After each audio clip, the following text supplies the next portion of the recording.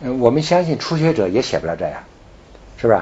就是说，我们写一点的简化字也不是不可以，就整篇的写一篇简化字，未尝不可。这是我做过的事情。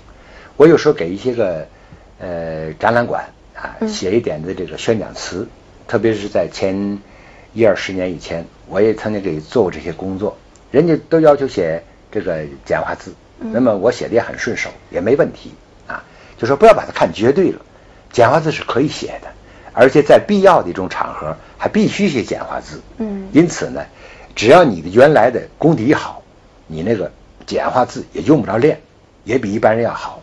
确确实实，这些字如果用跟这个繁体的字比起来，字形是没有那么美，但是也应该说得过去。这是一条。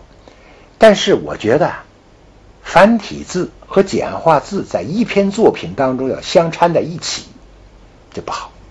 嗯，为什么呢？它会影响认读，嗯，它会给你搞乱了，啊，比如说我看过一个理发店，啊，这个理发店的名字叫做呃金华理发店，金华，金华理发店，它呢是这个由于对繁简字弄不清楚，所以它这个华字呢，它倒是啊，他写的是写的写的是个繁体的，嗯，啊，这个他写对了啊。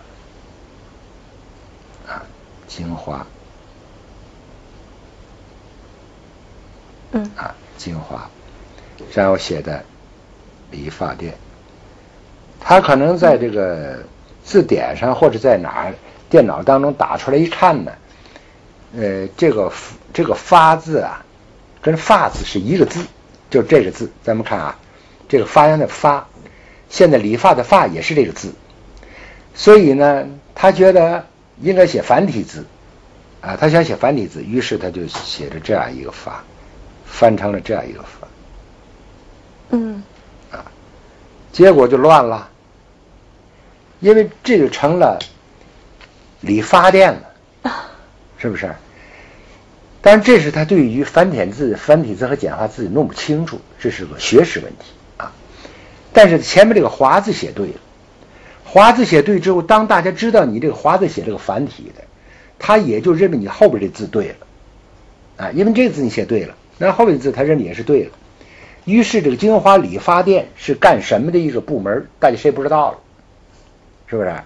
所以我们说啊，呃，繁体字和这个简化字有时候啊，只要一互相使用的，经常带来麻烦，还有。